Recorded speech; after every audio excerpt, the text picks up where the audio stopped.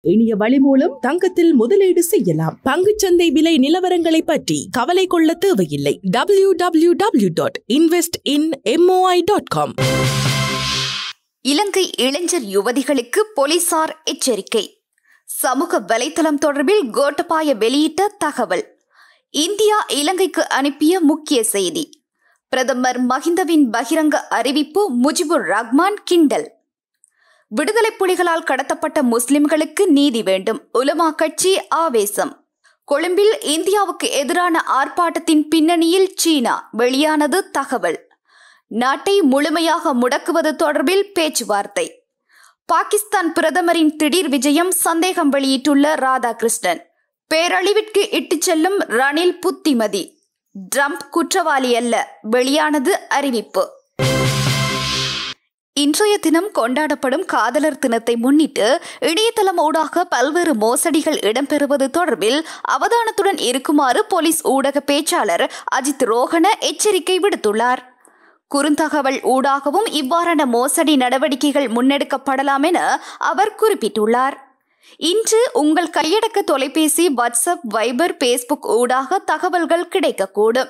உங்களுக்கு உங்கள் காதலன் அல்லது காதலி பரிசொன்றை அனுப்பி வைத்துள்ளதாகவும் அதனை பெற்றுக்கொள்ளுமாறும் குறிப்பிட்டு அந்த குறுந்தகவல் கிடைப்பதற்கு வாய்ப்புகள் உள்ளது. அதற்கான பரிசு புகைப்படம் ஒன்று அனுப்பி வைக்கப்படலாம். அதில் காதலன் அல்லது காதலிக்கு தொடர்புடைய புகைப்படங்களும் இருக்கலாம். அதற்கான ஒரு தொகை பணத்தை வைப்பிடுமாறு குறிப்பிடப்பட்டிருக்கும் அதனை நம்பி பணம் வைப்பிட வேண்டாம் என இலங்கை இளைஞர் யுவதிகளிடம் நான் கேட்டுக்கொள்கின்றேன் என அவர் தெரிவித்துள்ளார். சமூக வலைதளங்களில் தன்னை பற்றி பரப்பப்படும் போலி தகவல்கள் குறித்து ஜனாதிபதி கோட்டபாய கருத்து தெரிவித்துள்ளார். மீமுரே பகுதியில் நேற்று மக்களை சந்தித்து உரையாற்றிய போதே அவர் இதனை குறிப்பிட்டுள்ளார்.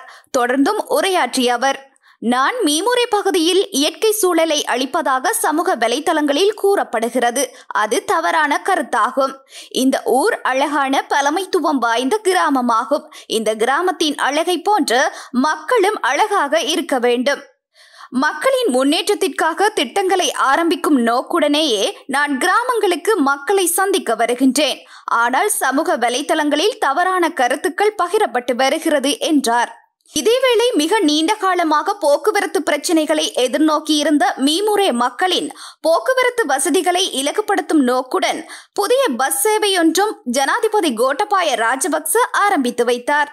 கொழும்பு துறைமுகத்தின் மேற்கு முனையத்தை அபிவிருத்தி செய்ய விருப்பம் தெரிவித்து இந்தியா இலங்கைக்கு அதிகாரப்பூர்வமாக அறிவித்துள்ளதாக நம்பகமான ராஜதந்திர வட்டாரங்கள் தெரிவிப்பதாக கொழும்பு சிங்கள ஊடகம் ஒன்று தெரிவித்துள்ளது.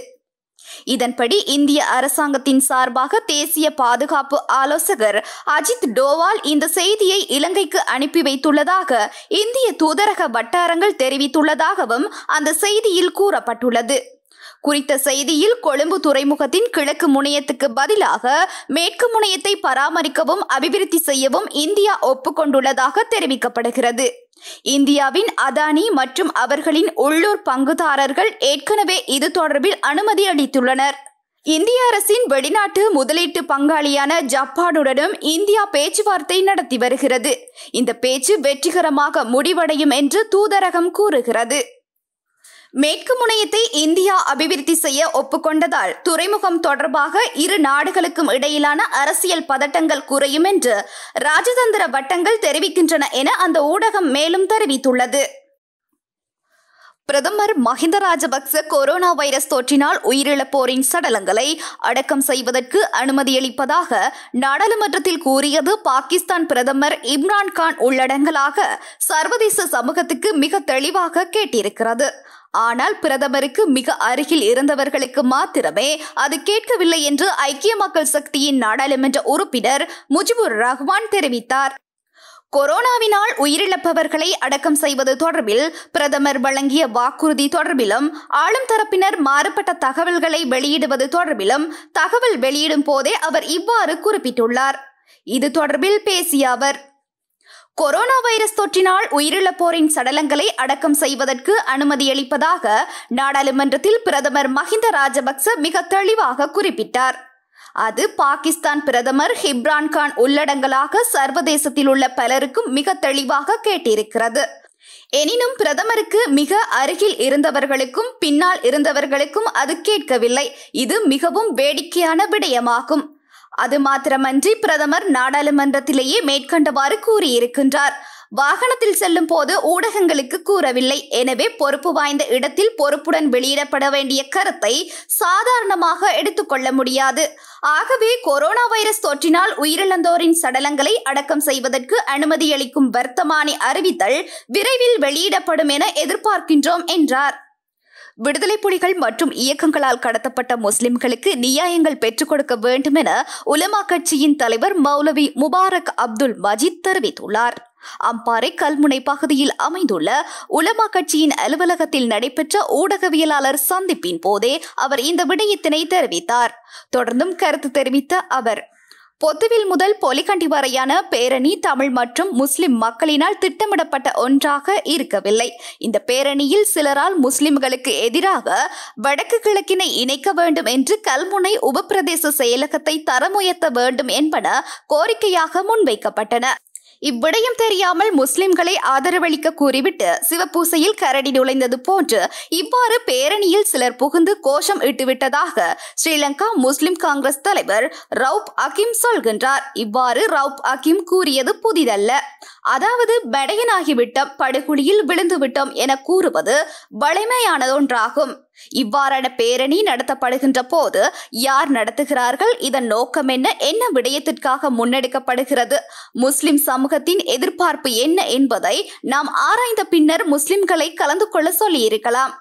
ஆனால் இறுதியாக தங்களது கண்களை தங்களது கைகளால் குத்தி கொண்டதாகவே நாம் பார்க்கின்றோம். அத்துடன் நாடாளுமன்றத்தில் அங்கத்துவம் வகிக்கும் முஸ்லிம் கட்சிகளை பற்றி பொதுமக்கள் அவநம்பிக்கை கொண்டுள்ளார்கள். இதுதான் உண்மை. இதற்கு காரணங்களை கூற முடியும். அதாவது யாழ் பல்கலைக்கழகத்தில் நினைவு தூபி உடைக்கப்பட்டதற்கு எதிராக அர்த்தால் அனுஷ்டிக்குமாறு முஸ்லிம் மக்களை கேட்டனர். ஆனால் மக்கள் ஆதரவளிக்கவில்லை. அடுத்ததாக போத்துவில் முதல் பொலிகண்டி வரையான பேரணியில் முஸ்லிம் மக்களை கலந்து கொள்ளுமாறு இவ்விரு கட்சிகளும் கோரியிருந்தன. ஆனால் இப்பேரணியில் குறித்த கட்சிகளின் தலைவர்கள் இருவரும் கலந்து கொள்ளவில்லை. அவர்களது நாடாளுமன்ற உறுப்பினர்கள் எவரும் கலந்து கொள்ளவில்லை. ஏற்கனவே மக்களால் நிராகரிக்கப்பட்ட ஒரு சிலர் தான் பேரணியில் கலந்து கொண்டிருந்தார்கள். இதன் மூலம் முஸ்லிம் கட்சிகள் மக்கள் மத்தியில் செல்வாக்குகளை இழந்து வருகின்றன என்பதுதான் உண்மையாகும். அது மாத்திரமன்றி இவ்விரு கட்சிகளும் நேரான கொள்கைகளை கொண்டிருப்பதாக தெரியவில்லை. இதில் சிலர் அரசாங்கத்தில் இருந்து கொண்டும் ஏனையோர் அரசாங்கத்துக்கு வெளியிலும் இருக்கின்ற முரண்பாடான நிலைமையினை நாம் காண்கின்றோம். ஆகவே முஸ்லிம் கட்சிகளில் உள்ள பெரும்பாலானவர்கள் சுயநலமாகவே செயற்படுகின்றனர் என்பதை சமூகம் புரிந்து கொண்டுள்ளது.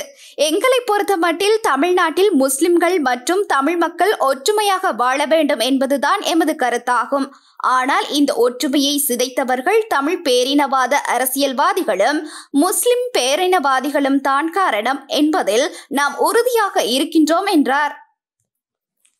கொழும்பு துறைமுகத்தின் கிழக்கு முனையத்தை இந்தியாவுக்கு வழங்குவதற்கு எதிர்ப்பு தெரிவித்து நடத்தப்பட்ட ஆர்ப்பாட்டத்தின் பின்னணியில் சீனா உள்ளதாக தெரிவிக்கப்படும் குற்றச்சாட்டை முற்றாக மறுத்துள்ளார் வெளிவிவகார அமைச்சர் தினேஷ் குணவர்த்தன இந்திய ஊடகம் ஒன்றுக்கு அளித்துள்ள பேட்டியில் அவர் இதனை தெரிவித்துள்ளார். அதில் அவர் மேலும் தெரிவிக்கையில் வலதுசாரிகள் முதல் இடதுசாரிகள் வரை பலதரப்பட்டவர்கள் இந்த விடயம் தொடர்பில் ஆர்ப்பாட்டங்களை முன்னெடுத்துள்ளனர். சீனாவிற்கு ஆர்ப்பாட்டங்களில் தொடர்பில்லை. நான் அவ்வாறு கருதவில்லை. ஆனால் இலங்கையில் இந்தியாவின் பாரிய திட்டங்களும் பாரிய முதலீடுகளும் தொடரும். அத்துடன் கிழக்கு கொள்கலன் முனைய திட்டம் கைவிடப்பட்டுள்ளமை இந்தியா இலங்கைக்கு இடையிலான உறவுகளை பாதிக்குமா என்ற கேள்விக்கு இரு நாடுகளுக்கும் இடையிலான உறவுகள் மிகவும் வலுவானவை. பல வருடங்கள் வரலாற்றை கொண்டவை என தெரிவித்துள்ளார். புதிய மாறுபாடு காரணமாக கோவிட் நோயாளிகள் அதிகரித்து வரும் நிலையில் நாடு முழுவதையும் முடக்குவதற்கு எந்த ஒரு தீர்மானமும் எடுக்கப்படவில்லை என பிரதி போலீஸ் மா அதிபர் அஜித் ரோஹன தெரிவித்துள்ளார். கொரோனா தொற்றினை தடுக்கும் தேசிய செயற்பாட்டு மையம் நாளை கூடும்போது இந்த பிரச்சினை தொடர்பில் விவாதிக்கப்பட உள்ளதாகவும் அவர் தெரிவித்தார். இது குறித்து கருத்து வெளியிட்டுள்ள அவர் இதுவரையில் முழு நாட்டையும் முடக்குவது தொடர்பில் எந்த தீர்மானமும் எடுக்கப்படவில்லை. எனினும் தேசிய செயற்பாட்டு மையத்தினால் நாளை இந்த விடயம் தொடர்பில் கலந்துரையாடல் மேற்கொள்ள தீர்மானிக்கப்பட உள்ளது என்றார். இதேவேளை தொற்றுநோய் பிரிவு இந்த நிலைமை தொடர்பில் ஆராய்ந்து வருவதாகவும் எடுக்கப்பட உள்ள நடவடிக்கைகள் தொடர்பில் தீர்மானங்கள் முன்னெடுக்கப்பட்டு வருவதாகவும் பொது சுகாதார பிரதிப்பணிப்பாளர் வைத்தியர் ஏமந்த ஹேரத் தெரிவித்துள்ளமை குறிப்பிடத்தக்கது. எதிர்வரும் இருபத்தி இரண்டாம் திகதி இலங்கைக்கு வரும் பாகிஸ்தான் பிரதமர் இம்ரான்கானின் இலங்கைக்கான விஜயம் இந்திய அரசாங்கத்துக்கு எதிரானதாக அமைந்துவிடக்கூடாது. அப்படி அமைந்து விடுமோ என்ற சந்தேகம் ஏற்படுகிறது என மலையக மக்கள் முன்னணியின் தலைவரும் நுவரெலிய மாவட்ட நாடாளுமன்ற உறுப்பினருமான வேலுசாமி ராதாகிருஷ்ணன் கேள்வி எழுப்பியுள்ளார். இன்று ஞாயிற்றுக்கிழமை நுவரெலியாவில் வைத்து ஊடகங்களுக்கு கருத்து தெரிவிக்கையிலேயே அவர் இவ்வாறு குறிப்பிட்டுள்ளார். இது தொடர்பாக அவர் தொடர்ந்தும் கருத்து தெரிவிக்கையில். தற்பொழுது இலங்கையில் இந்தியாவுக்கு எதிரான ஒரு நிலைப்பாடு ஏற்பட்டுள்ளது. அதற்கு காரணம் கொழும்பு துறைமுகம் தொடர்பான ஏற்பட்டுள்ள முருகல் நிலையாகும். ஏற்கனவே இந்திய அரசாங்கத்திற்கு வழங்குவதற்கு தயாராக இருந்த நிலையில் இலங்கையில் ஏற்பட்ட எதிர்ப்பு போராட்டம் காரணமாக இந்த தீர்மானம் கைவிடப்பட்டுள்ளது. இதன் காரணமாக தற்பொழுது இந்தியா தொடர்பாக இலங்கையில் பல்வேறு முரண்பாடுகள் ஏற்பட்டுள்ளது. இவ்வாறான ஒரு நிலையில் பாகிஸ்தான் பிரதமரின் இலங்கைக்கான திடீர் விஜயம் பல கேள்விகளை எழுப்புகின்றது. பாகிஸ்தான் பிரதமரின் இலங்கை விஜயமானது இந்தியாவிற்கு எதிரானதாக அமைந்துவிடக்கூடாது.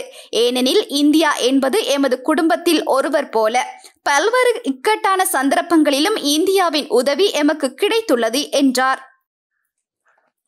இந்த நேரத்தில் ஆட்சியை கைப்பற்றுவது குறித்து சிந்தித்து பார்க்க வேண்டாம் என ஐக்கிய தேசிய கட்சியின் தலைவர் ரணில் விக்ரமசிங்க ஐக்கிய மக்கள் சக்தியின் நாடாளுமன்ற உறுப்பினர்கள் சிலருக்கு தெரிவித்துள்ளார். ஐக்கிய மக்கள் சக்தியின் ராஜித சேனாரட்ன மனுச நாணயக்கார ஹரின் பெர்னாண்டோ ஆகியோருடனான சந்திப்பின் போதே ரணில் விக்ரமசிங்க இதனை தெரிவித்துள்ளார். இந்த தருணத்தில் ஆட்சியை கைப்பற்ற நினைப்பது பேரழிவிற்கு இட்டுச் செல்லும் எனவும் எதிர்க்கட்சி தற்போது ஆட்சியை கைப்பற்றினால் அடுத்த பத்து வருடத்துக்கு அதிகாரத்தில் இருப்பது குறித்த எண்ணத்தை எதிர்க்கட்சி கைவிட வேண்டும் என ரணில் விக்ரமசிங்க தெரிவித்துள்ளார். அமெரிக்க நாடாளுமன்ற கலவரத்தை தூண்டிய குற்றச்சாட்டிலிருந்து முன்னாள் அதிபர் டொனால்ட் ட்ரம்ப் விடுவிக்கப்பட்டார். அமெரிக்க செனட் சபை நேற்று தனது இரண்டாவது குற்றச்சாட்டு விசாரணையில் முன்னாள் அதிபர் ட்ரம்ப்பை விடுவித்தது. இதன்படி அமெரிக்க கேபிட்டலில் ஜனவரி ஆறாம் தேதி நடந்த கலவரத்தை தூண்டியதில் ட்ரம்ப் குற்றவாளி அல்ல என்று வாக்களித்தனர்.